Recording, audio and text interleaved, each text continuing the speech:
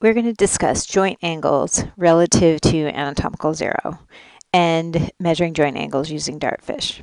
So let me go back to the beginning of this video. Okay, so we have the first position.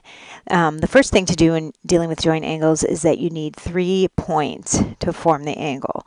So for the knee joint, we typically use the lateral femoral condyle, greater trochanter, and the lateral malleolus.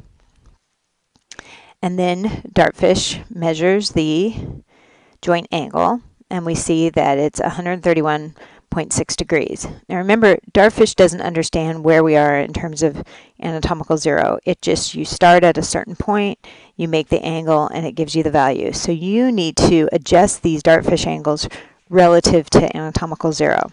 So when we're in anatomical zero, right here, um, and we have this angle of 131 degrees, it's actually an angle of 180 minus 131.6 or 48.4 degrees.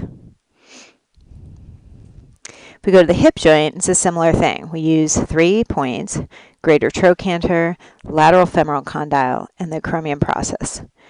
Um, now if we look at this relative to anatomical zero, so imagine her um, hip is extended, so this is the anatomical zero line, the dartfish angle is very similar to the anatomical zero angle because the hip is flexed almost to 90 degrees.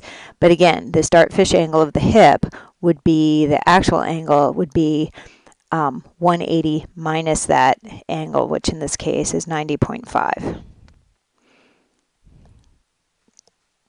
And then for the glenohumeral joint, we use the epicondyle of the humerus, the acromion process, and the greater trochanter.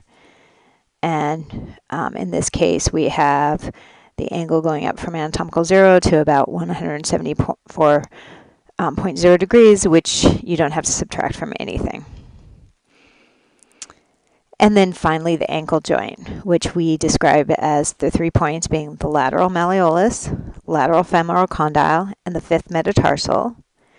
And if we want to look at this from anatomical zero, in anatomical zero, you are at 90 degrees of dorsiflexion. So you always subtract that 90 degrees from the angle. So it's 90 minus 74 or 16 degrees of dorsiflexion. So what's the anatomical zero or the hip degree of hip flexion from anatomical zero? That would be 180 minus this angle. And that's the end of this video.